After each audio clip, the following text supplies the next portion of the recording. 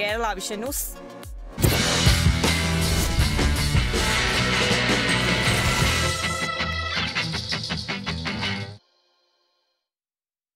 ലോകകപ്പ് സന്നാഹ മത്സരങ്ങളൊക്കെ തന്നെ ആരംഭിച്ചിട്ടുണ്ട്.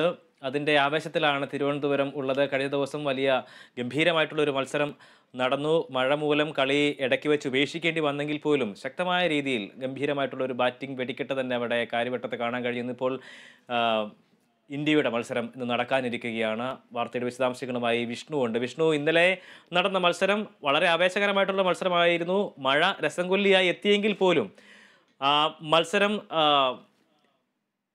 വലിയ ഒരു ടോട്ടൽ തന്നെ ടീം പടുത്തുന്ന കെട്ടിപ്പടുക്കുന്ന സാഹചര്യം നമുക്ക് കാണാൻ കഴിഞ്ഞു. ഏതാണ്ട് ഏഴ് റൺസിനാണ് ദക്ഷിണാഫ്രിക്കയ്ക്ക് പരാജയം സമ്മതിക്കേണ്ടി പോലും വന്നത്. ഇന്നിപ്പോൾ നടക്കാനിരിക്കുന്നത് അതിനേക്കാൾ ആവേശകരമായിട്ടുള്ള ഒരു മത്സരമാണ് ഇന്ത്യ ഇന്ത്യയുടെ മത്സരം. ഇന്ത്യയുടെ മത്സരത്തിന് ഇറങ്ങുന്നു വിവരങ്ങൾ എന്തൊക്കെയാണ്?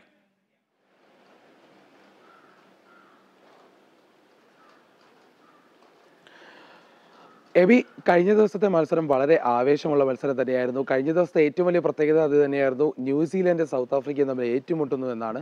നേരത്തെ തന്നെ ഈ ഒരു മത്സരം വലിയൊരു പോരാട്ടമായിരിക്കുമെന്ന് പ്രവചിച്ചിരുന്നു. അതുപോലെ തന്നെയായിരുന്നു സംഭവിച്ചത്. മുപ്പത് ഓവർ പൂർണമായും ആദ്യത്തെ ടീമിന് ആദ്യം ബാറ്റ് ചെയ്യുന്ന ടീമിന് മത്സരിക്കാനായി സാധിച്ചു എന്ന് വേണം പറയാൻ ഇത്രയും മഴ പ്രതിസന്ധി ഉണ്ടായിട്ടും മത്സരം പൂർണമായ രീതിയിൽ നടക്കുമെന്നുള്ളൊരു പ്രതീക്ഷയുണ്ടായിരുന്നു.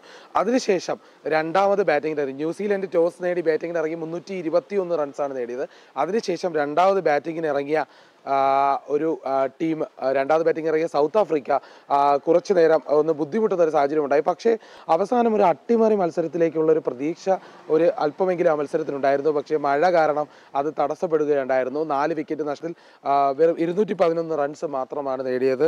സൗത്ത് ആഫ്രിക്ക ക്വിൻഡൻ ഡി കൊക്ക് നല്ലൊരു സ്കോർ എഴുപത് എൺപത്തിനാല് റൺസ് നേടി നിന്നു ക്രീസിലുണ്ടായിരുന്നു. അതുകൊണ്ട് ആ ഒരു പ്രതീക്ഷയിൽ മത്സര വിജയ പ്രതീക്ഷ മുന്നിൽ മുന്നിലുണ്ടായിരുന്നു.